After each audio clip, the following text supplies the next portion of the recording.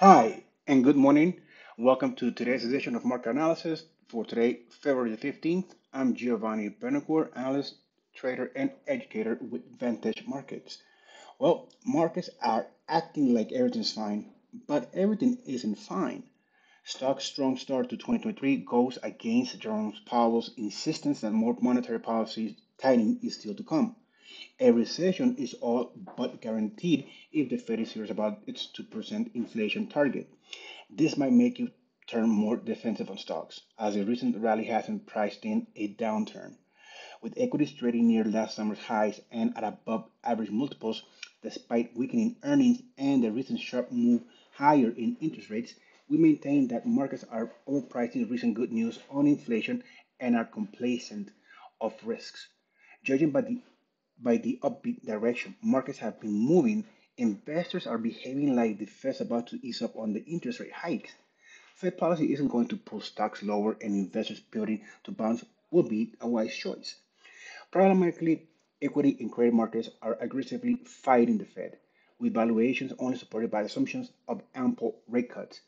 History suggests these strategies often end in disappointment and cause and effect are conflated. Most stocks look overpriced at their current valuations, and any bullish bets go against the central bank's guidance. Some places to look uh, short to medium term could be the US Treasury notes, municipal bonds, and corporate credits, as well as equities that have the potential for above average dividends. All the while, there's a key recession indicator that's blaring louder than it has in roughly four decades.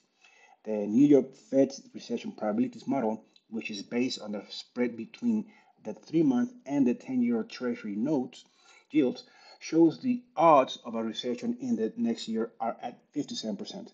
When the indicator breaches the 50% mark, it has a perfect track record. No one seems to care, probably because the Fed induced recessions should have Fed induced recoveries. Well, that being said, what can we expect then? Okay, a sell-off in the in the in the equities. That's what we have. That's what we're seeing right right now. At the open, most likely we're gonna open down. That's the implied.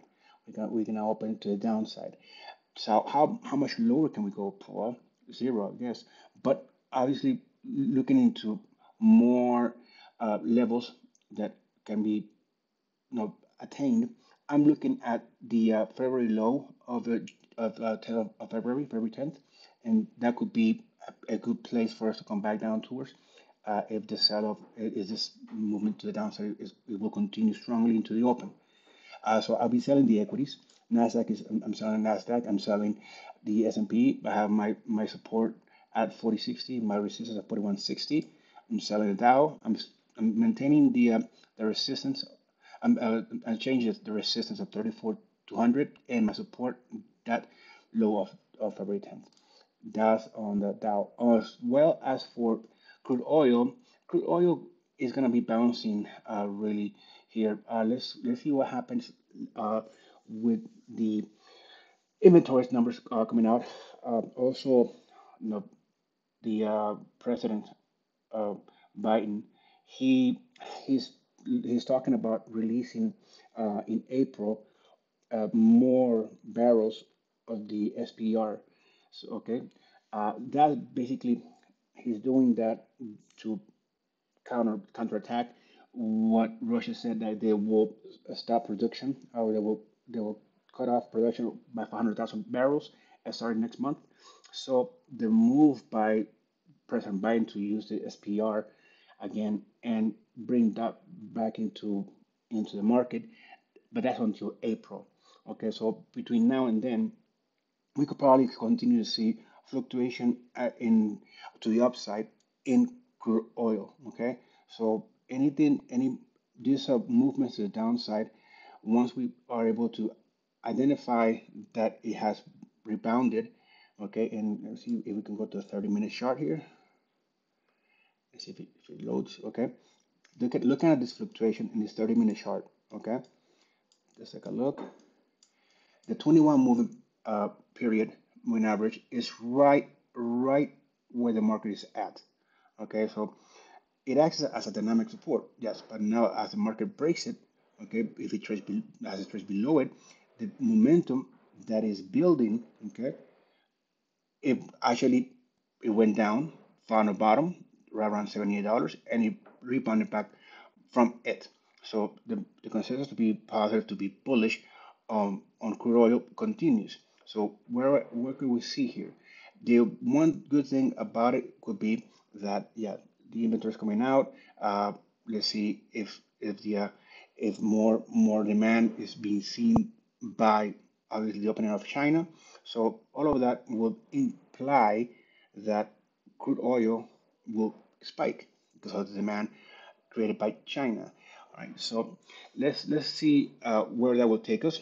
But for now, I am looking to buy crude oil. Okay, so I'm, I'm long crude oil. All right, uh, on Nat gas, I'm flat. I'm, I'm not even in, in it because this, this is just it's got. I'm, I'm looking that it's going to continue uh, to do just this as I have been mentioning for the past week. And then we have gold. Gold is looking to trade lower. 1800 is my is my target. Eight initially 1820 uh, can be that support or the, the bottom first support. Okay, so let's wait and see what happens. But yeah, selling uh, gold okay is is pointing strongly to the downside, as well as selling silver.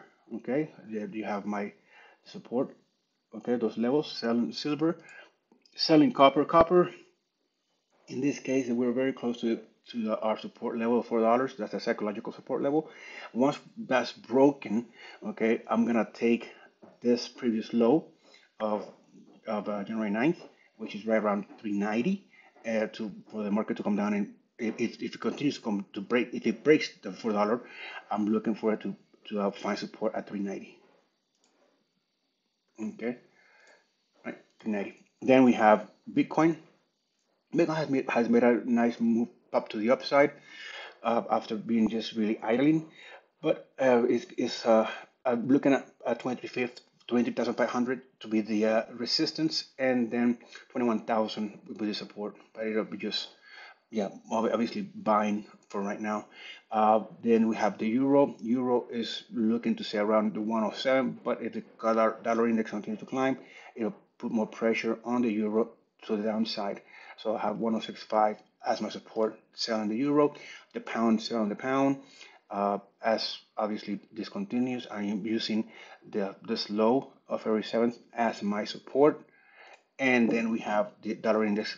I'm having 104, uh, the dollar index.